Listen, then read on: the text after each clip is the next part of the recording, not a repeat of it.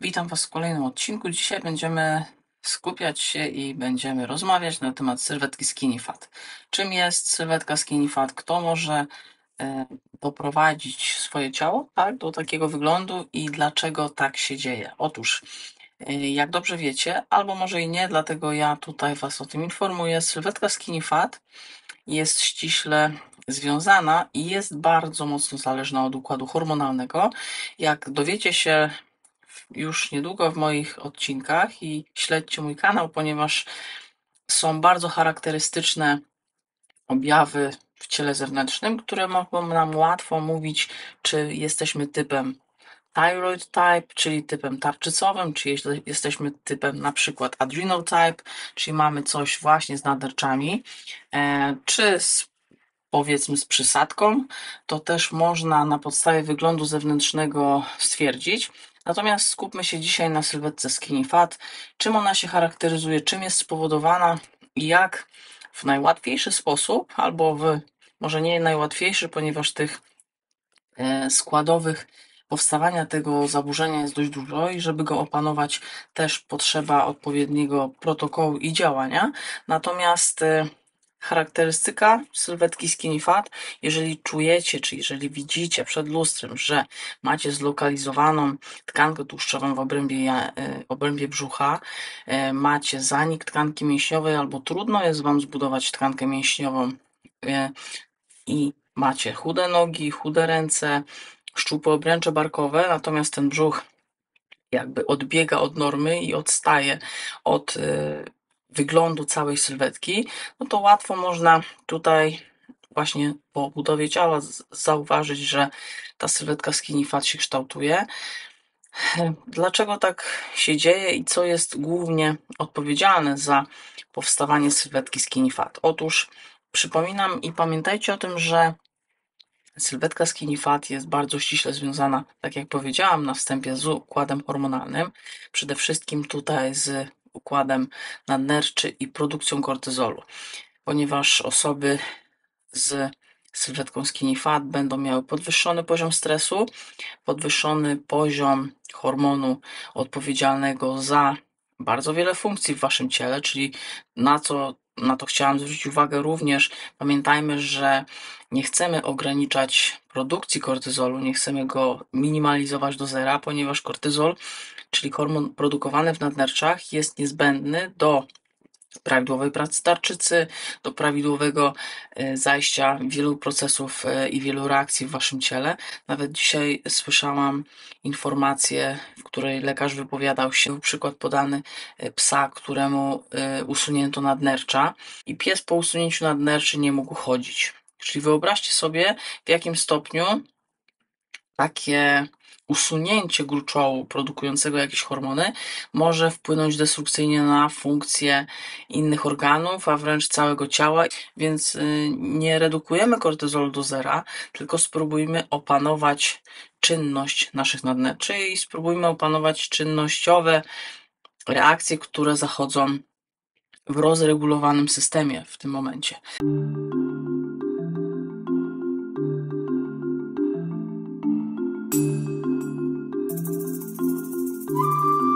Tkanka tłuszczowa lokalizuje się w obrębie pasa brzusznego. Otóż dookoła brzucha jest najwięcej receptorów dla kortyzolu. Mówi się, że to jest blisko wątroby, dlatego wątroba sobie oddelegowała takie miejsce do lokalizacji zapasów tłuszczu, żeby w stanie e, zapotrzebowania na e, substancje energetyczne, tkanka tłuszczowa czy te źródła tłuszczowe były łatwe, łatwo dostępne mm, do pobrania dla naszej wątroby. Oczywiście wiecie o tym, że ciało robi bardzo mądre rzeczy i e, w odpowiedni sposób się zaopatruje w różne rezerwuary jakichś substancji, tak? Więc tutaj jest taka zależność, mm, być może jako ciekawostka.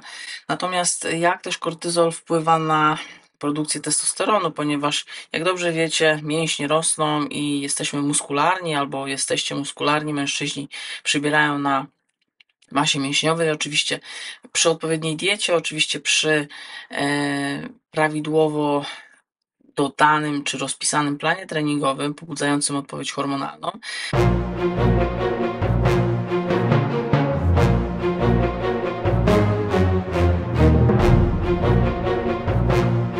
Sylwetka skinny fat jest ściśle uzależniona od poziomu stresu i tutaj musimy sobie skarakteryzować, jaki stres występuje i czym jest w ciele człowieka, ponieważ przypominam i pamiętajcie o tym, że organizm człowieka jest zależny od reakcji, jest zależny od stężeń, jest zależny od substancji chemicznych i organizm nie rozpoznaje źródła stresu. Natomiast my, jako świadomi użytkownicy naszego ciała, powinniśmy mieć taką świadomość. Jak tutaj widzicie, mamy różne rodzaje stresu. Jest stres emocjonalny, Psychologiczny jest e, powiązany bardzo mocno ze stresem emocjonalnym, ponieważ emocje bardzo często będą ten stres fizyczny powodowały. No ale to tutaj wiadomo, że są takie emocjonalne hormony, które wpływają na to, że jesteśmy humorzaści, ale to e, już w innym odcinku. E, kolejny rodzaj stresu to jest stres żywieniowy. Czy Widzicie osoby albo znacie osoby, które schodzą na diety poniżej podstawowego zapotrzebowania energetycznego? Otóż, jeżeli tak się dzieje, to wówczas właśnie eksponują swoje ciało na stres żywieniowy, ponieważ niedożywienie powoduje znaczące ubytki dostarczanych substancji i niestety, ale powoduje duży stres oksydacyjny w naszym ciele. Stres chemiczny, czyli będzie to stres, który jest spowodowany ekspozycją na substancje ze środowiska zewnętrznego.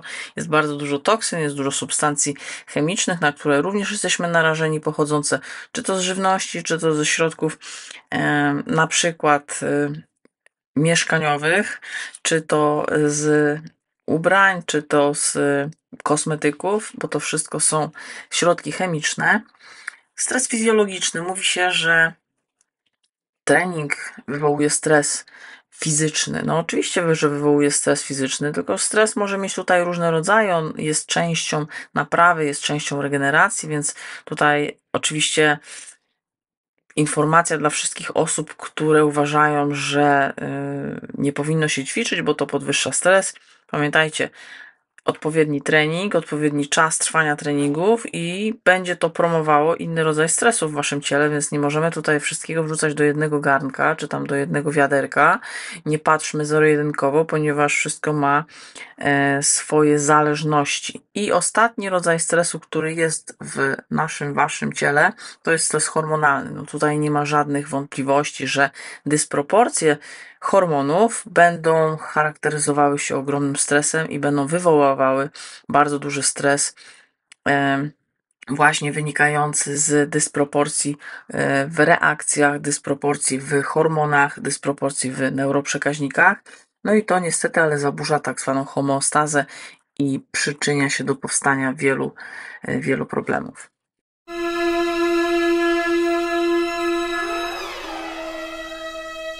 Kwestii ciekawostki mogę Wam przybliżyć, w jaki sposób podniesiony poziom kortyzolu i w jaki sposób podniesiony poziom adrenaliny na przykład wpływa na powstawanie i występowanie insulin resistance, czyli oporności na tkanek na insulinę, albo w konsekwencji, która prowadzi do drugiego typu cukrzycy. Otóż podniesiony poziom kortyzolu co powoduje? Powoduje chroniczny podniesiony poziom cukru, tak? Jeżeli mamy podniesiony cukier, cukier chronicznie, no to będzie to nasilało chronicznie wydzielanie insuliny i co w końcu doprowadzi do tego, że tkanki przestaną odpowiadać na tą insulinę, która jest w bardzo wysokim stężeniu i to też będzie konsekwencji przyczyniało się do upośledzenia również e, spalania tkanki tłuszczowej, ponieważ do tego właśnie prowadzi insulin. Osoby, które mają oporność tkanek na insulinę e, i mają chronicznie wysoki poziom insuliny, mają również bardzo duży poziom tkanki tłuszczowej, więc na przykład cukrzycy, którzy przyjmują duże dawki insuliny i na przykład zwiększają tą insulinę, bo zjedzą jakieś węglowodany, to też w bardzo dużym stopniu upośledzają redukcję tej tkanki tłuszczowej, więc pamiętajcie, że to są bardzo silnie zależne od, sobie, od siebie hormony.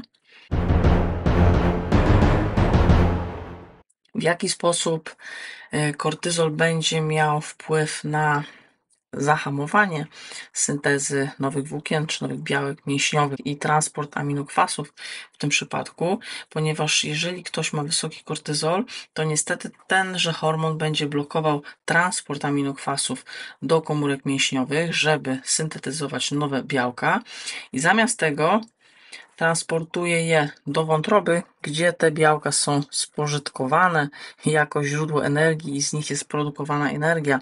Więc tutaj na tym przykładzie upośledzony jest właśnie tym mechanizmem, jest upośledzona produkcja nowych y, białek i wzrost mięśni.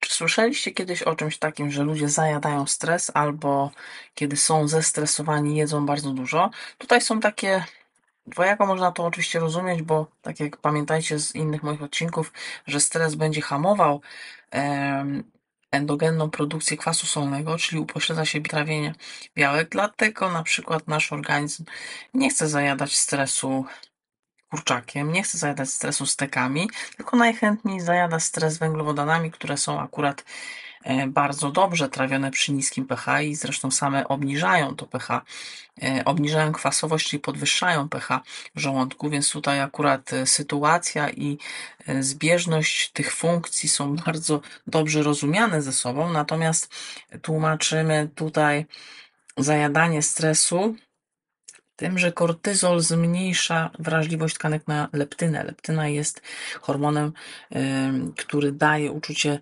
sytości, więc jeżeli osoba ma upośledzoną wrażliwość leptynową, niestety spowodowaną właśnie stresem, nie ma takiego odczucia, że jest najedzona i taka osoba będzie no, charakteryzowała się dużymi napadami głodu albo właśnie takimi, takimi problemami. Oczywiście stres tutaj będzie miał jeszcze wpływ i będzie ściśle związany z barierą jelitową, z przepuszczalnością jelit, z czynnością również hormonalną jelit, ponieważ jak dobrze wiecie, 80%, a nawet więcej, niektórzy mówią, serotoniny jest syntetyzowana w jelitach przez bakterie jelitowe, więc w sytuacji, w której niestety, ale Jesteście pod wpływem stresu. Stres powoduje dysbiozę przewodu pokarmowego i jelit.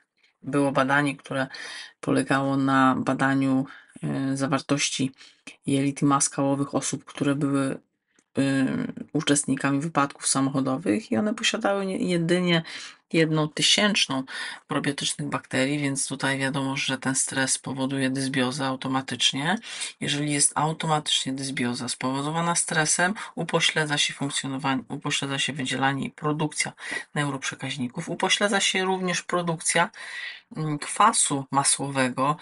Dobrze znacie taki suplement jak maślan sodu, który jest stosowany w, e, w różnych zaburzeniach jelit. Natomiast e, przypominam i pamiętajcie o tym, że jeżeli macie prawidłową mikroflorę przewodu pokarmowego, wasza mikroflora wytwarza kwas masłowy i dzięki czemu jelita funkcjonują bardzo dobrze, bo kwas masłowy jest silnym składnikiem o działaniu przeciwzapalnym stosowanym w różnych terapiach e, dla osób z zaburzonymi funkcjami jelit, ale uważam, że najlepiej jest zredukować stres i najlepiej jest przywrócić mikroflorę jelit. I tutaj na tym polu działać, natomiast nie zamiatać, jak ja to mówię do swoich pacjentów, też nie zamiatać problemu pod dywan, bo ten problem nie zostanie rozwiązany.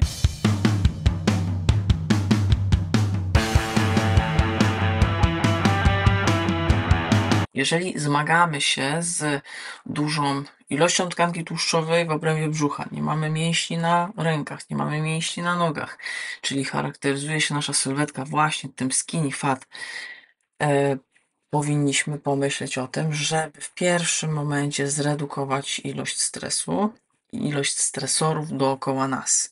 Przypominam, duża ilość stresorów, na przykład chociażby pod postacią kawy, bo kawa też jest stresorem i też w zbyt dużym stężeniu może podwyższać kortyzol. Pamiętam, że kofeina jest metabolizowana około 17 godzin i ona potrafi podwyższyć kortyzol nawet o 30%, czyli e, pamiętajcie, że jeżeli mamy dobowe wydzielanie kortyzolu i ono nie jest zaburzone, dopóki tego nie zaburzycie, e, rano powinien być kortyzol duży, wysoki, a jeżeli musicie pić kawę rano, żeby podnieść sobie kortyzol, no to wiadomo, że o te 30% to wiadomo, że dobowe wydzielanie jest zaburzone, a jeżeli metabolizm kofeiny trwa 16 czy 17 godzin, no to też e, będziecie narażeni na jeszcze większe pogłębienie tego problemu, więc pamiętajcie, że no tutaj należy zrozumieć ten problem, należy zrozumieć te zaburzenia i nie nasilać ich bez sensu i nie, nie robić y, w życiu rzeczy, które będą jeszcze mocniej potęgowały dany problem, ponieważ tak dobrze się funkcjonuje, powiedzmy, ileś czasu, można tak mm, na takim hyper y, stylu życia jakiś czas sobie żyć, natomiast y, później dochodzi do wyczerpania nadnerczy, a co powoduje wyczerpanie nadnerczy? Wyczerpanie nadnerczy powoduje, że kortyzol nie jest produkowany. A tak jak wspomniałam na początku swojego filmu, kortyzol jest niezbędnym hormonem w odpowiednim stężeniu oczywiście do zajścia niektórych reakcji. Mamy w naszym organizmie 25 tysięcy reakcji, więc Oczywiście nie jestem w stanie o wszystkich opowiedzieć. Mamy 5000 enzymów, czyli też nie jestem w stanie wszystkie scharakteryzować, natomiast skupiamy się tutaj na najważniejszych rzeczach, jak funkcjonuje nasze ciało i w jaki sposób funkcjonalnie zadbać o to, aby to ciało było zdrowe przez jak najdłuższy czas, ponieważ e, jak też już w odcinkach zawsze mówię, nasze ciało się zmienia i zmienia się wraz z wiekiem, zmienia się wraz z latami, więc tutaj będzie to bardzo zależne od tego, w jakim wieku jesteśmy i co się aktualnie dzieje, ponieważ e, tempo metabolizmu to jest wartość, która spada z wiekiem, ale spada przez to, że spadają nam aktywne hormony, czy to spada nam endogenna produkcja niektórych substancji, czy spada nam wydzielanie różnych neuroprzekaźników. I tutaj zwróćmy się na to zawsze uwagę, kontrolujmy swoje badania. E, pozdrawiam Was tutaj. Już kończąc ten odcinek, namawiam do okresowego sprawdzania, jak funkcjonuje Wasze ciało i dbania o dobrą formę i dobrą budowę e, Waszego ciała. Pozdrawiam jeszcze raz bardzo serdecznie, zapraszam do subskrypcji i do innych odcinków na moim kanale.